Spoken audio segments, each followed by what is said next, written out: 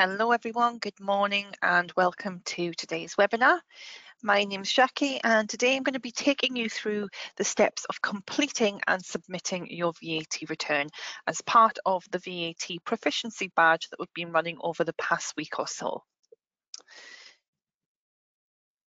So I'm going to start off with some housekeeping just in case this is your first webinar what you'll first of all notice is that you can't speak to the team. Your microphone will be placed on mute and that just means that you can't speak to us directly. But if you do have any questions, please do use the questions panel. To access that, the icon looks like a speech bubble with the question mark in the middle and that will submit your questions across to the team. There is also a handout for today's session, so you can download that using the icon with the folded corner. And we do recommend you download that before the end of the session today. If you have been on previous sessions and you're looking for the handouts for those, then they are available on our Sage Community Hub, so you can find them on there, as well as the recordings of previous sessions as well. We've got Michael and Abby in the background for any questions that you may have today. And please don't wait till the end, just submit your questions as and when they come to you, just so that we can make sure we can try and get as many answered as possible on the session today. Okay, so I'm just going to quickly go through the contents and then we're going to just talk briefly about the VAT proficiency badge. So today we're talking all about the complete step of the VAT return. So this follows on nicely from Michael's session yesterday afternoon where he did steps one and two. We're going to cover the features of step three. So we're looking at VAT transfer journals and I'm going to show you the manual process of doing that but also how you can do the automatic postings and show you the benefits of that. Same with the payment or the receipt. I'll show you manual versus automatic. And then we're going to talk about VAT submission. And we'll show you the differences between VAT submission in the UK and in the Republic of Ireland. And if there are any final outstanding questions, then we'll try and tie those up at the end of the session there for you. Okay, so just want to talk about the badge. So we've been running these sessions since the 18th. So that was last Monday. We started a series of seven sessions. We're doing each session twice to give you a choice of dates and times. And we're now on to session three of our second run. So after today, we have three more sessions left. So this is your last opportunity. If this is your first time attending one of the badge webinars, this is your last opportunity to get involved with the badge. So after today, this afternoon, we're going to be looking at running reconciliation reports. And then tomorrow morning, we'll be doing verification checks. And tomorrow afternoon, we finish it up with the top five questions answered. We're including some bonus ones in there as well because we've had a lot of questions over the last two weeks. We're going to try and highlight some of the key ones over that period. So if this is your first webinar and you want to earn our digital badge, you will need to join us this afternoon and tomorrow at 11am and 2pm tomorrow afternoon as well to do that. So with the badge, it is a digital badge. It proves your attendance to four out of the seven sessions, and they do need to be different topics as well. So we're going to be running the reports next week to see who has achieved the badge and we hope to have the badge out with you by the 12th of April. So please don't chase us before then. We do have a little bit of absence due to holidays, etc. with it being the Easter period. So please do bear with us and we will try and get that out as soon as possible for you. Okay, so if you do want to attend the additional sessions, please do get yourself registered. There is a link in the chat, which should again show on the right hand side of your screen, and that links into the article that shows you the upcoming um, sessions, but also recordings of the previous sessions if you have missed those ones out. If you're loving the badge um, scenario, then we are looking to do more badges later on this year. So please do keep an eye out on our webinar page. And we do have a little bit of information a little bit later on around our next badge, which is coming for payroll in April. So we'll tell you more about that towards the end of the session today. Okay, so first of all, I am just going to pop a poll on the screen. And what I would like to know is how many of you are doing a UK return, how many of you doing it from the Republic of Ireland, and how many of you are in the situation where you're actually doing both a UK and Republic of Ireland return. So I am just going to pop the poll on the screen there now. You should see that making its way to you in the next few seconds there. And today our data set is a UK return that I'm going to show you. However, we will be highlighting the differences along the way and we do have screenshots in the handout that are all Republic of Ireland. So we are trying to make it cater for all of you that are joining us today. That's fab. If the vote's not appearing on your screen, use the questions panel. That's absolutely fine as well. It's great. It just gives us that little bit of insight to see who's joining us from where, making sure that the content is correct for our customers as well. Okay, so I always like to wait till I've got around 70% of the vote just to make sure I've got a really good group of you contributing there, but we've just hit 80. So I'm just going to close that down and share the poll. So you can see there, majority of you are on the UK return, 92%. We've got a couple in the chat there on the UK return as well. 5% um, on Republic of Ireland, and a few of you are actually having to do both. So for those of you doing both, you, you, can imagine why we have to pick to do UK or Ireland return for the demonstrations. It's not as easy as just picking a new company. We do have to change our settings on the PC to Irish settings to get the Ireland VAT return to appear in the software. Okay, so what I'm going to do next then, I'm just going to pop back into the slides there. And we're just going to talk about VAT transfer journals.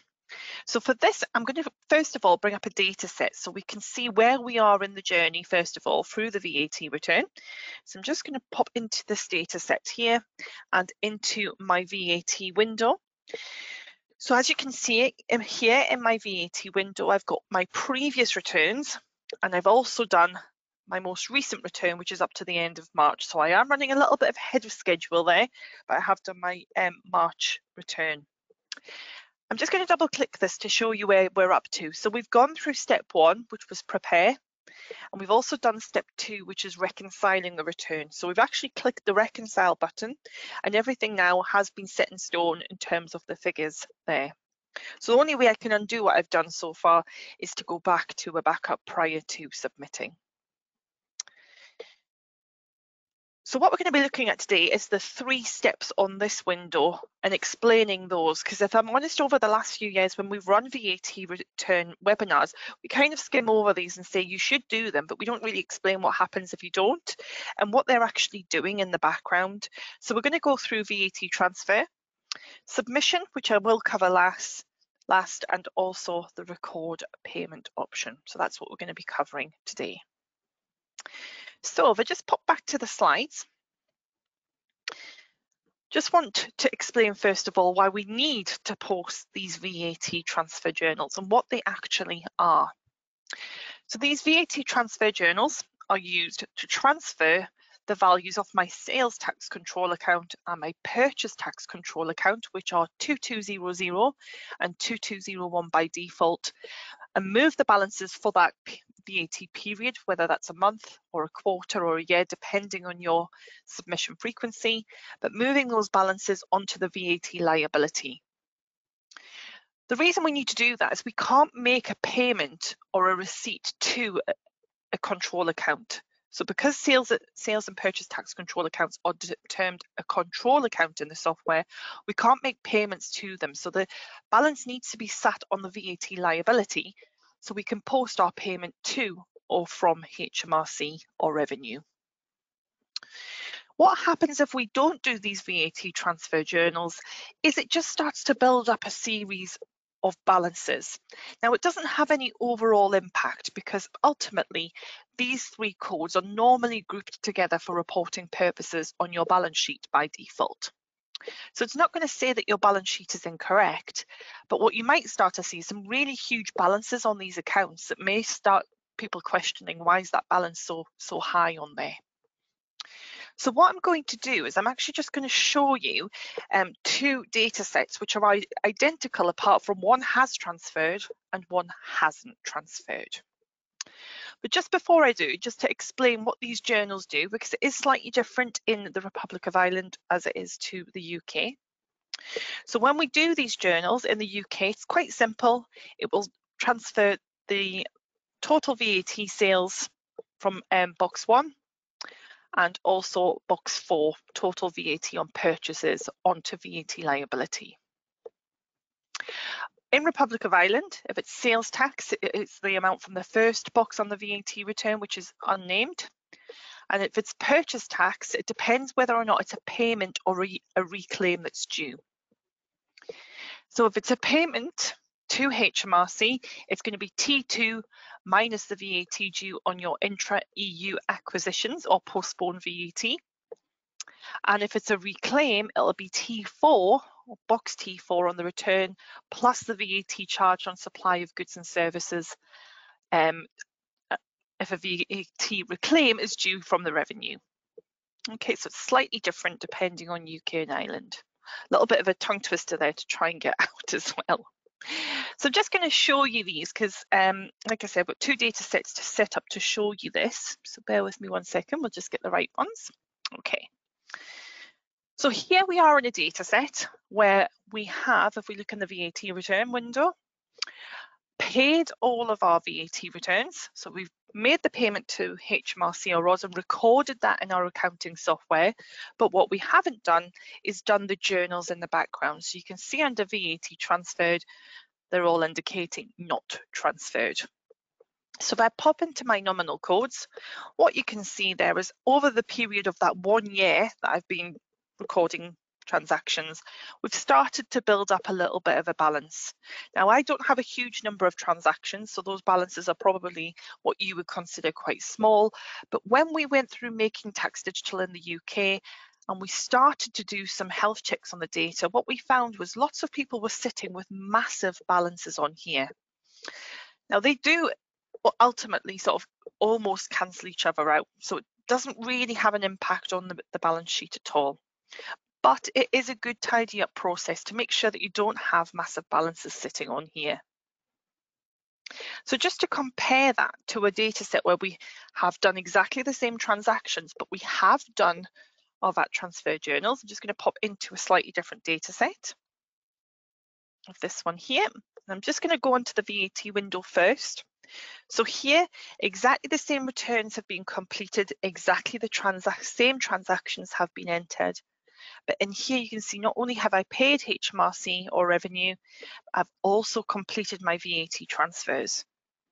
And that means when we go back to nominal codes, the same three nominal codes look a little bit nicer. They don't look as big, they don't look as sort of scary to look at. So we've got nothing outstanding on VAT liability. So it's basically saying at the moment, I don't have anything outstanding on the liability to HMRC or revenue.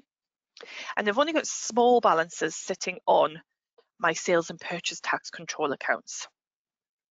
Now you might think, I'm actually doing this for the end of March, why have I still got a balance on there? And this is a really common question that we do get. Why are balances still on there? Why does it never come back to zero? And that's because your processing is very unlikely to stop at the 31st of March. You likely have future data transactions, or you're maybe not looking right on the 31st without having posted anything into the future. So at the moment, these transactions showing as outstanding haven't yet been transferred. So what we're going to do then is we're going to go back into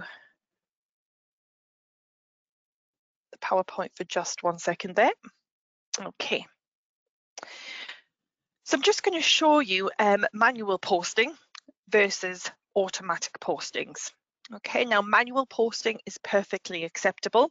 So we may have people on who are doing manual postings and that is fine. You can continue to do so. There's nothing to say that you can't continue.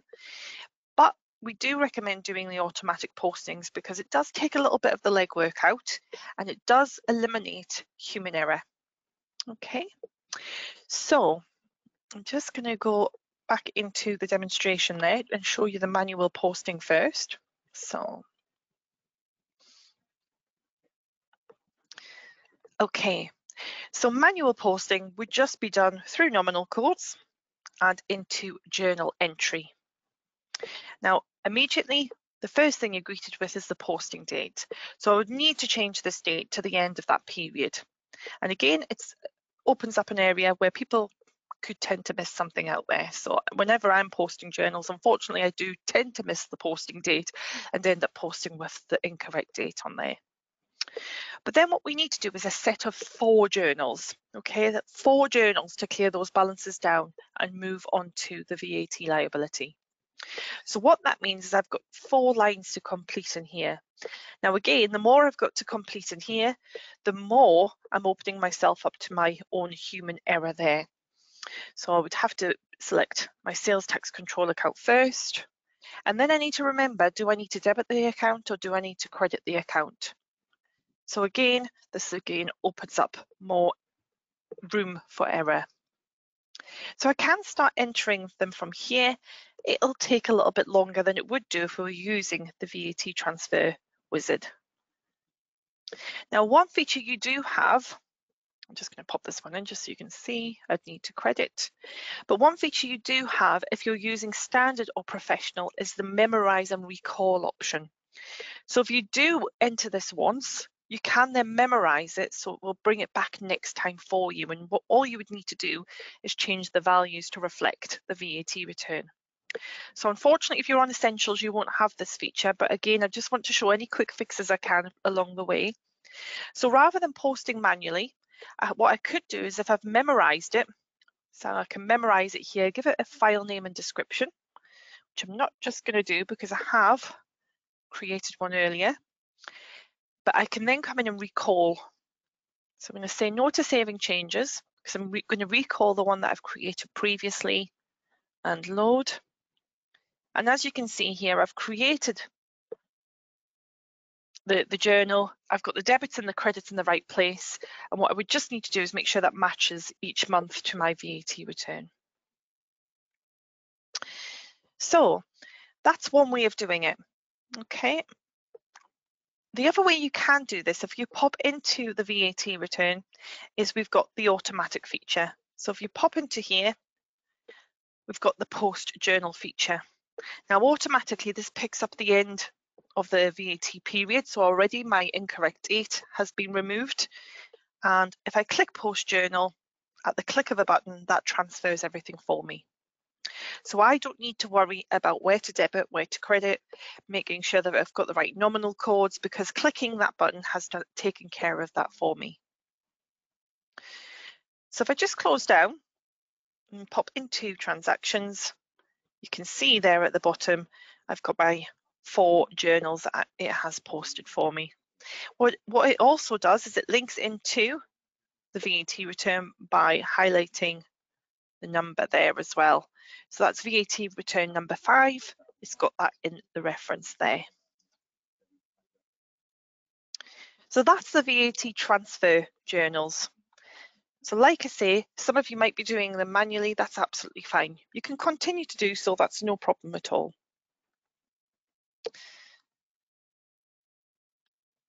So next what we're going to look at is the payment option. Okay, so that's this one down here. So again, at some point, you'll need to record your payment to or from HMRC and revenue. Now again, this can be done manually. You can do this through the banking feature. So we've got the option for bank and then bank payment or bank receipt, depending on whether it's money to or from revenue. However, again, what we would recommend is where you can is to use the VAT return feature to do this. Now it might be you're not paying them for another sort of six weeks or so, and that's fine. You can come back in at any point and record your payment as and when you have made that payment. Now, what's great here is again, it picks up your default bank.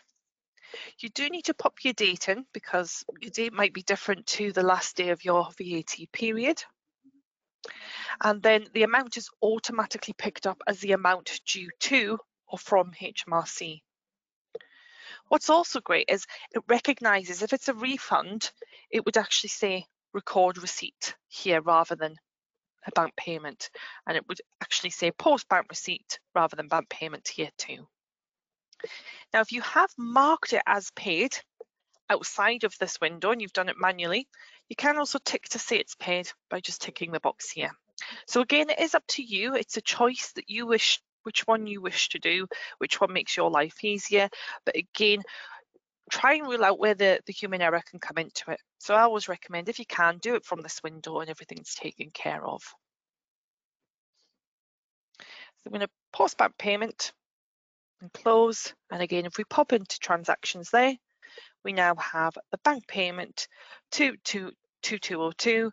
And if we wanted to, we could have popped a reference in to reference the, the um, VAT return. So great opportunity now to get your questions across if there's any questions there regarding what we've covered so far, just before we move on to submission there. Just a reminder as well, the journals that you're posting and the payment would all be on a T9 because all you're doing is moving VAT from one location to another and then recording the payment to HMRC. So there isn't any VAT on top of that because you don't pay VAT on VAT. So remember to use a T9 if you are doing them manually so they don't get picked up on the next return for you.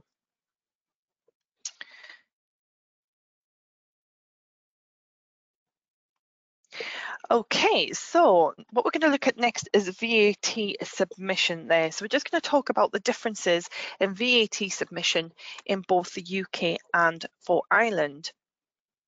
So this is where it does differ. Okay, so VAT payment and VAT transfer journals are very, very similar in the UK and Ireland, apart from which boxes are impacted on the return. Submitting in the UK, however, changed a few years ago under Making Tax Digital. So you now need to submit your make, sorry your VAT return via Making Tax Digital submission. And that means in the UK, it will submit your data straight from your software across to the HMRC gateway on your behalf. So you don't need to come out of your software, calculate your figures and then pop them in manually as many used to prior to making tax digital. So what you need to do first of all, if it's your first VAT return, is switch it on. And if it's not your first VAT return, but you're not sure, you can also check to see whether or not this has been switched on.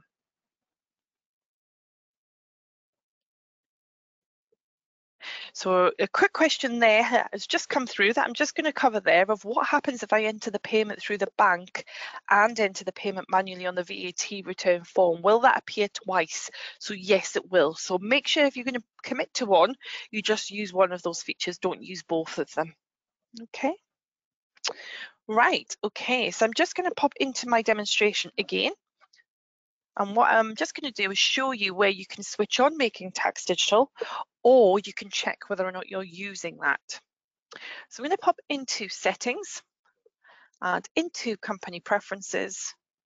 And within here, we have the VAT tab. Just wants my password first. So in VAT, you can see if you're in a UK company, you should have this option to enable making tax digital for VAT submissions. So you do need to make sure that there's a tick box in there and in addition, you also need to make sure that you've got your VAT registration number entered into this box here. This will mean when you go to the gateway, it's checking those de details for you, but also if you're creating invoices, it will pull that VAT registration across for you on certain layouts. So make sure you've got the tick box there, and then you can submit when you go into the VAT return using, bring this back up, the option to submit online here. And that will start to send the information directly for your software. Now what I'm going to do now is I'm going to show a quick video which shows you we're making tax digital submission. So bear in mind this is UK only and I'm just going to make sure it is going to work because we have had some issues with our videos lately. Some of them tend to play and some don't but I am hoping today's will play. If not we do have a link to um, to this um, recording that you could follow up afterwards if you wish to follow that up. So bear with me, we'll just try and see if this video will work for us there. It's just a few minutes long.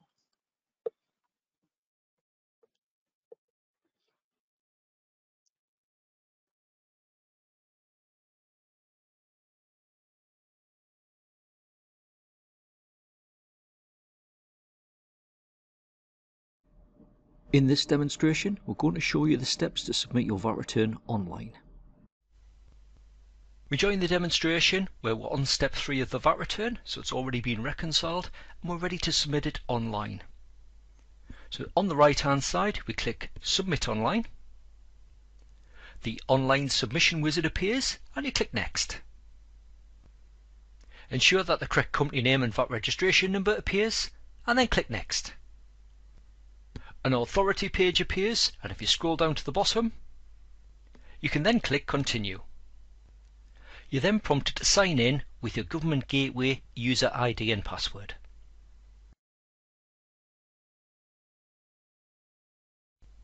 Once entered, click Sign In. You then click Grant Authority. You'll then be prompted to choose your period and it should default to the correct one. Just make sure this is correct and then select the checkbox to say that you agree to the following HMRC declaration and then click Submit to HMRC. Once completed, a congratulations message appears indicating you successfully submitted your VAT return to HMRC. You click Close. You then return to the VAT return and as you can see the VAT return is now flagged as being submitted.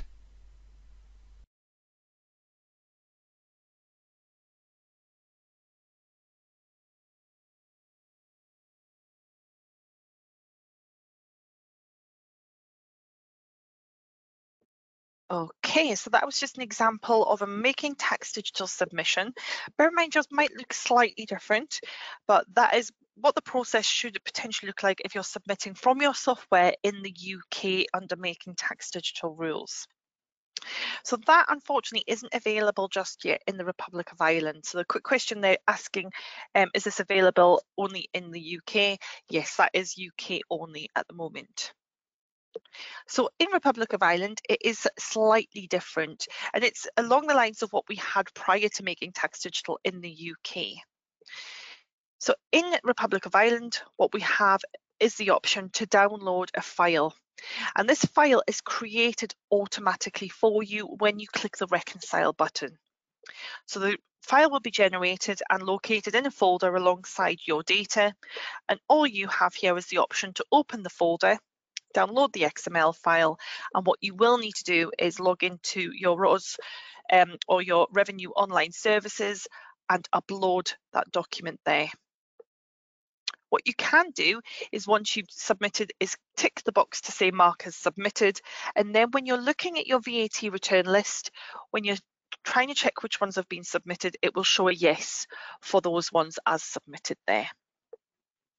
In the UK, if you do do a submission through making tax digital rules, what you will find is rather than what we can see here, this wording here, is you will have something called a correlation ID.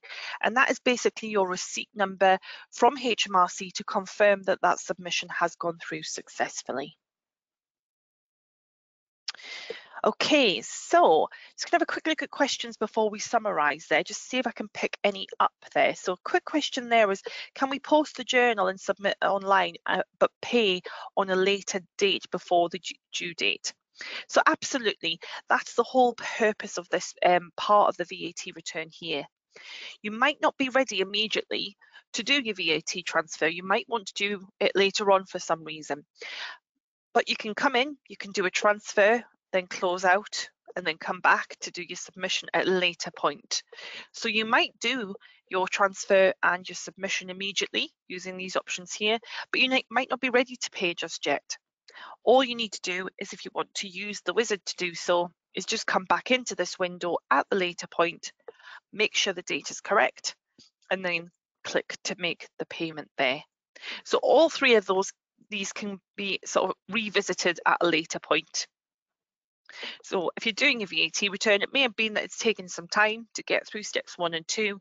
You've clicked reconcile, and if you're honest, that might be it for the day. that might be more than enough. So yes, you can come back to these at a later point. That's the beauty of the VAT returns there. Okay, so I'm just going to pop back onto summary. So again, please do keep your questions coming there. We've got um, Abby and Michael on hand there, pretty much on top of them. So if you are thinking about getting a question across, please do.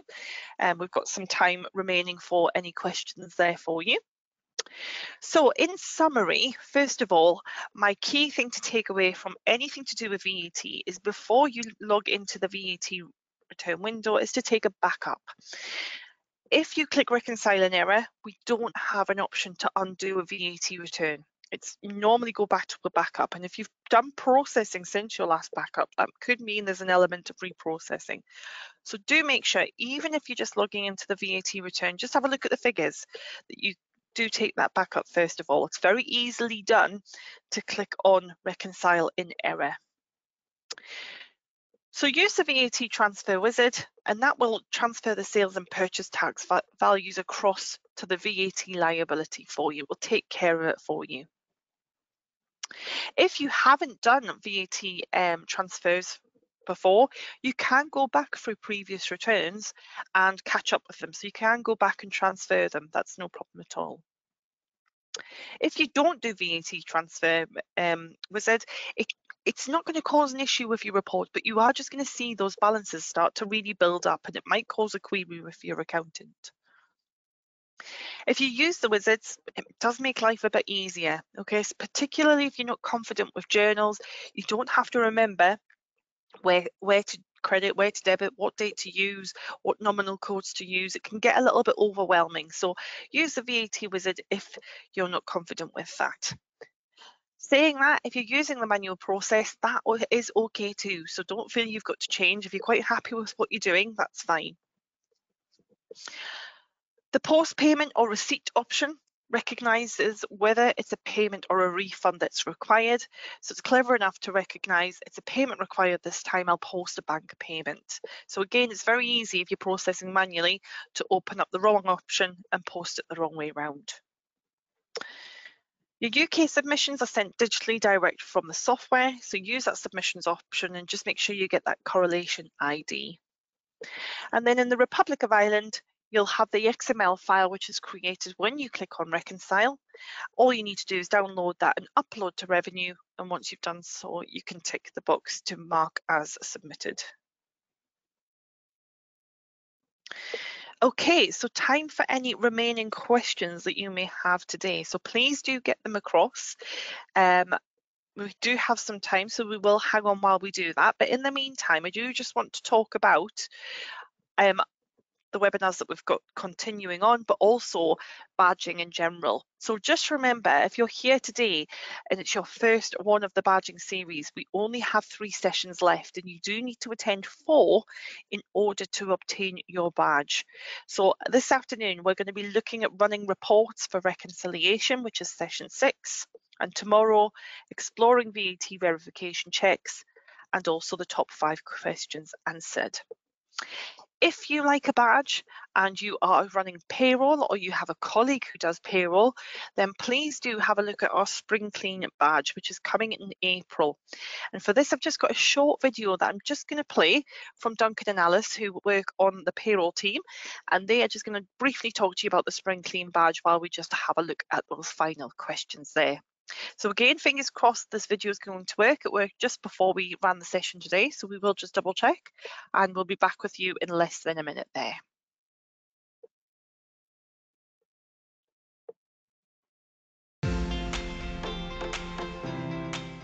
Hello, I'm Duncan. And I'm Alice. We do the Sage 50 payroll webinars, and we're excited to tell you about our upcoming Payroll Spring Clean badge. This April, we're running five webinars. Spring Clean Your Payroll, Minimum Wage Check, Online Payslips, HMRC Secure Mailbox, and Report Favourites and Selections. It's the perfect time to refresh your payroll skills. Not only do you have the opportunity to ask your questions live on the webinar, but also, if you attend three out of the five webinars, you can earn this free digital badge. If you'd like to know more, head to sage.co.uk slash webinars, select Sage 50 Payroll and register now. We'll see you there.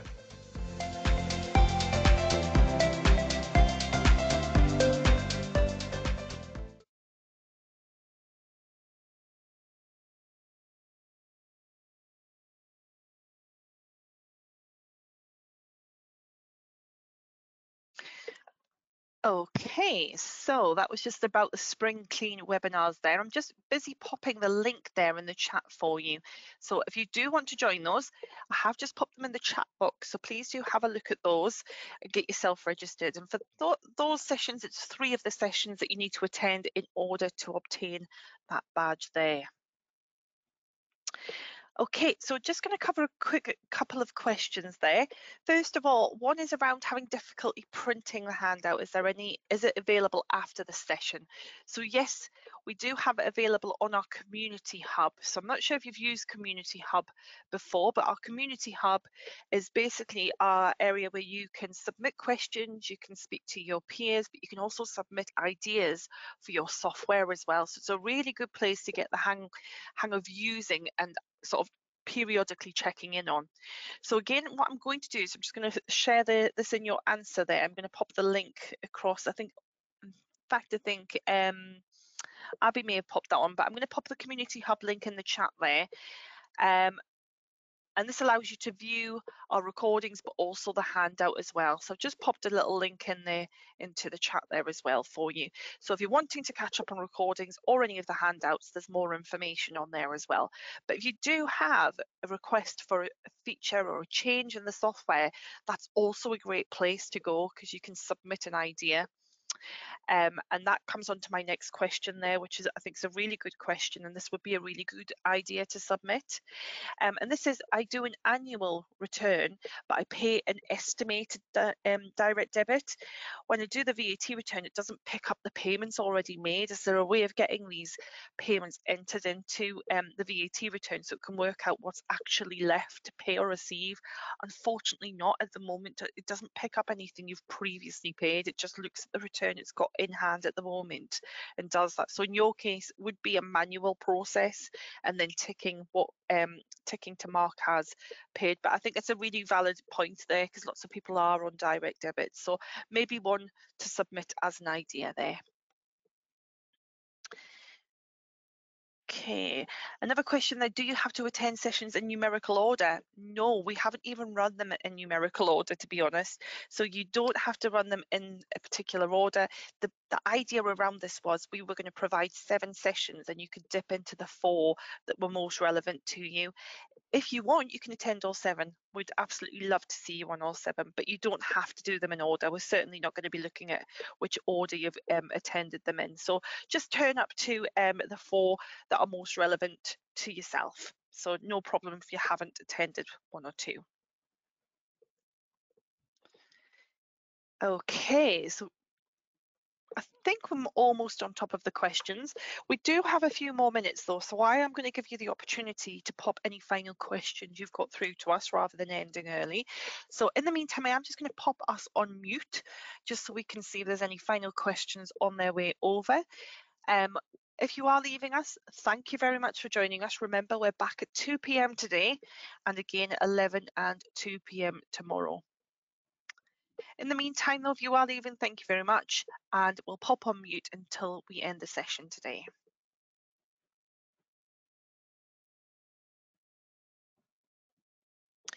Okay, I was going to, but there's one there that just come through. That's a really good one for me to demonstrate actually. So I'm going to start talking again. So what I'm going to do is pop back into my data set. A quick questions just come through there. Um, and we always talk about default nominal codes. So I'm just going to share my screen again. There we go. So majority of people will be using the defaults, but not everyone is. So the question that has come through is, I don't see nominal code 2200. So most people will be using it as sales tax, but not everyone will. To check this in your data, you can go into settings and then control accounts. And this shows you all of your control accounts in the software. So what you'll be looking for is VAT on sales. Now, as you can see, mine showing is 2200, but yours might be showing something else. And that means my handout today, you'll just need to sort of um, pop in your nominal codes instead when you're looking at the handout there. But this is where you can see all of the control accounts in the software and what you've got assigned. Now mine here at the moment show the defaults because I haven't made any changes to this. And if yours are different, it's not to say that's wrong, it's just you might have a slightly different nominal structure set up on your data set. Okay, Lovely comment there. Thank you very much for the Sage team for organising this series. Um, it's been really quite helpful. We've had some lovely feedback from people and we really do appreciate any feedback um, either way. So anything you've got to say to us, please do use the survey at the end of the session just to um, send over your comments. We really do appreciate it because we can only improve with your comments as well. Okay, I am going to pop on mute now because um, we've got a few more moments. So any final questions, please do get them across just before we end the session there.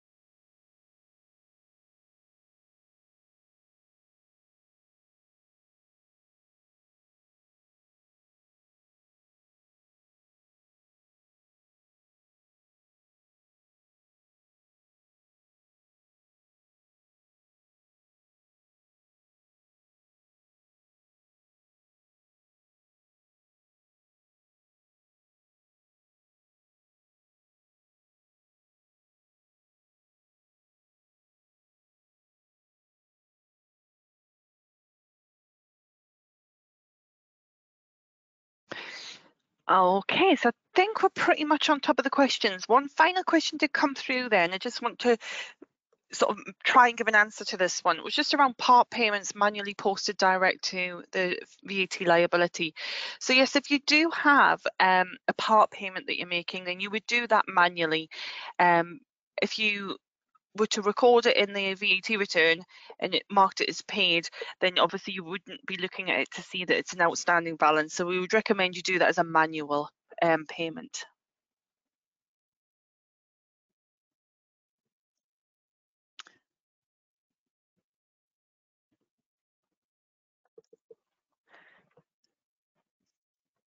Okay, so I think we're going to look to end the session there. So thank you everyone for joining us today. We really do appreciate you joining us on these sessions.